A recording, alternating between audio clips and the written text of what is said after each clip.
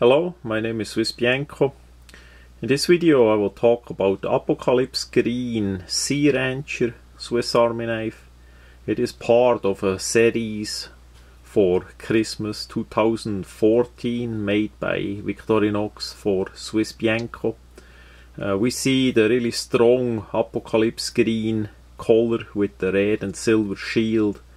It's by now a classic of Swiss Bianco and on the back side we see the feature the main feature is the sucking needle the marlin spike with the engraving plate in the middle of the scale also the big cutout for that part. Now the sea rancher has the marlin spike sucking needle coming from the right in the lower layer. Then we have from the left the 93mm Alox blade. And then on top of that from the left is the the pruner blade.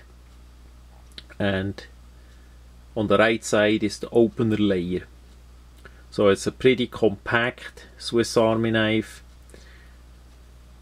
Only 100 pieces were made on that particular knife so it's gonna be absolute rare a rare model Again, those knives gonna come in the traditional silver box from Victorinox.